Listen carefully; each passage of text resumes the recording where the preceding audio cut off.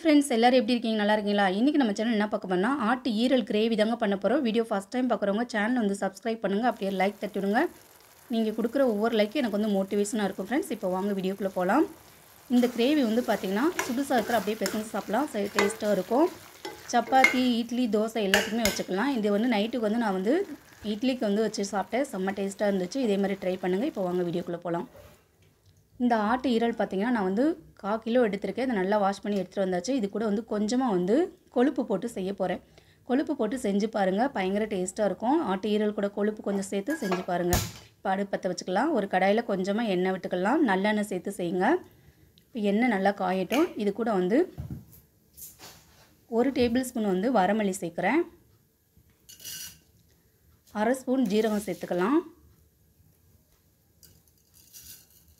அரை ஸ்பூன் வந்து மிளகு சேர்த்துக்கலாம். காரத்துக்கு தகுந்த மாதிரி நீங்கள் வரமிளகாய் சேர்த்துக்கோங்க. நான் ரெண்டு வரமிளகாய் சேர்க்குறேன். இப்போ எல்லாத்தையும் நல்லா வறுத்து எடுத்துக்கலாங்க. ஒரு அஞ்சு நிமிஷம் நல்லா வறுபடட்டும். நான் ஒரே ஒரு சில்லு தேங்காய் வந்து துருவி வச்சுருக்கேன். இப்போ அந்த தேங்காய் சேர்த்துக்கலாம்.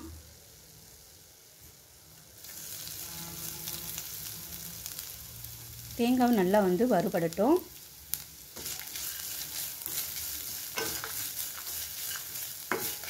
தேங்காய் நல்லா வறுபட்டுருச்சு.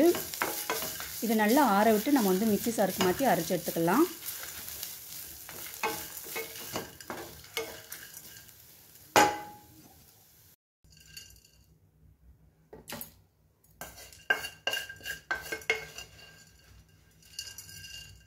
மிக்சி ஜாருக்கு மாற்றிட்டு கொஞ்சமாக தண்ணி விட்டு நல்லா பேஸ்ட்டு பதத்துக்கு அரைச்சி எடுத்துக்கலாங்க. இந்த அளவுக்கு அரைச்சி எடுத்துக்கலாம். இது தனியாக இருக்கட்டும். இப்போ அடுப்பத்தை வச்சுக்கலாம். அதே கடாயில் கொஞ்சமாக எண்ணெய் விட்டுக்கலாம். எண்ணெய் காஞ்சிருச்சு. இது கூட வந்து மூணு கிராம்பு ஒரு பிரிஞ்சி இலை ஒரு பட்டை சேர்த்துக்கலாம். கொஞ்சமாக வந்து பெருஞ்சீரகம் சேர்த்துக்கோங்க. இது எல்லாம் நல்லா பொரியட்டும்.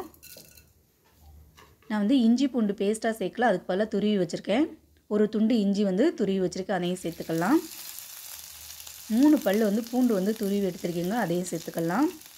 இந்த இஞ்சி பூண்டு வந்து நல்லா வந்து எண்ணெயில் நல்லா வதங்கட்டும். இதோட பச்சை வாசனை போகிற அளவுக்கு நல்லா வதக்கி விட்டுக்கலாம்.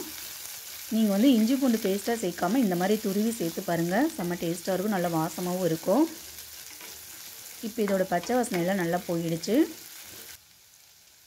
நான் ஒரு பெரிய வெங்காயம் வந்து கட் பண்ணி வச்சுருக்கேன். அந்த வெங்காயத்தை சேர்த்துக்கலாம்.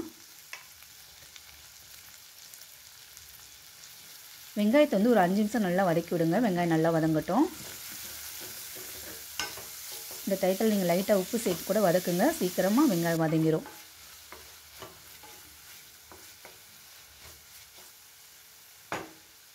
வெங்காயம் நல்லா வதங்கிடுச்சு நான் ஒரு அரை தக்காளி எடுத்திருக்கேன். சின்ன சின்ன பீஸாக கட் பண்ணி வச்சுருக்கேன் அதையும் சேர்த்துக்கலாம்.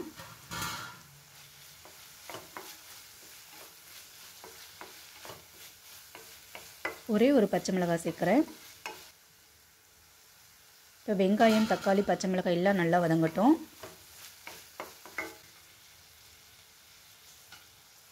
இது கூட நான் ஃபஸ்ட்டு வந்து கொழுப்பு சேர்த்துக்கிறேன்.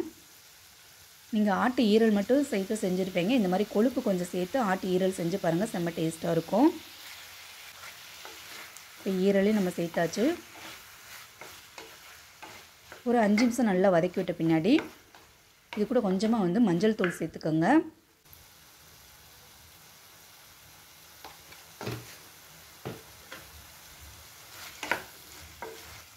மஞ்சள் வந்து பார்த்திங்கன்னா ஒரு நாலு தடவை நல்லா கழுவி தான் எடுத்துருக்கோம் மஞ்சள் தூள் போட்டு. அதனால் மஞ்சள் தூள் வந்து கம்மியாக சேர்த்துக்கோங்க. மஞ்சள் தூளோட பச்சை வாசனை பின்னாடி உப்பு சேர்த்துக்கோங்க. இப்போ தண்ணி எதுவும் சேர்க்க வேண்டாம். இது நல்லா தண்ணி விட்டு வேகட்டும். ஒரு அஞ்சு நிமிஷம் ஆகட்டுங்க.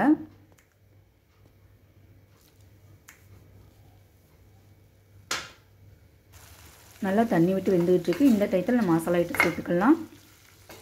நான் மசாலாலாம் ரொம்ப சேர்க்கலை. ஒரு கால் டீஸ்பூன் வந்து சில்லி பவுடர் ஒரு கால் டீஸ்பூன் வந்து கரம் மசாலா மட்டும் தான் சேர்க்குறேன். இப்போ இதோட பச்சை வசனை போகிற அளவுக்கு நல்லா வதக்கி விட்டுக்கலாம்.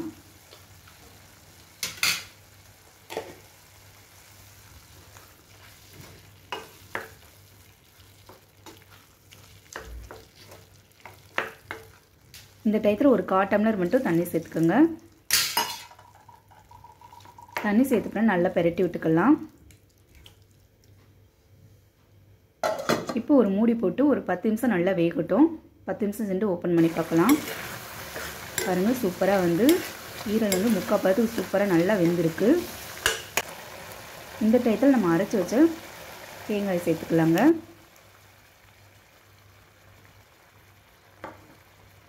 சேர்த்தப்பறம் நல்லா கிளறி விட்டுக்கலாம். காரம் உப்பு எல்லாம் கரெக்டாக இருக்கான்னு பார்த்துக்குங்க. உப்பு கம்மியாக இருந்தால் உப்பு சேர்த்துக்கோங்க. காரம் கம்மியாக இருந்தால் காரமும் சேர்த்துக்கோங்க. இப்போ ஒரு மூடி போட்டு ஒரு பத்து நிமிஷம் நல்லா கொதிக்க விடலாங்க. இது நல்லா சுண்டி வரணும். அப்போ தான் வந்து டேஸ்ட்டாக இருக்கும். பாருங்கள் சூப்பராக வந்து தண்ணிலாம் வச்சு நல்லா சுண்டி வந்திருக்கு.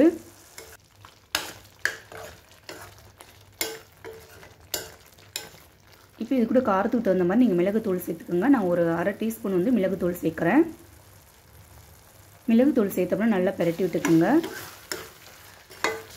ஃபைனலாக கொஞ்சமாக வந்து மல்லித்தலை தூணா நம்மளோட ஆட்டு ஈரல் கிரேவி வந்து சூப்பராக ரெடி ஆயிடுச்சு.